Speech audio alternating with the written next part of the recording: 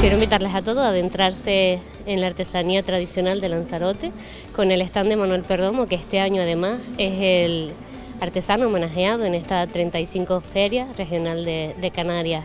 Como pueden ver, la muestra va a ser siempre en relación a la madera, a la rueda, a la divulgación de tradiciones y yo creo que prácticamente es un stand para verlo, para disfrutarlo y para reconocer un poquito lo que es la artesanía de, nuestra isla. Nos sentimos orgullosos de que sea parte del artesano homenajeado, que sea alguien que realmente haya vivido y haya mostrado tanta pasión por las tradiciones en nuestra isla.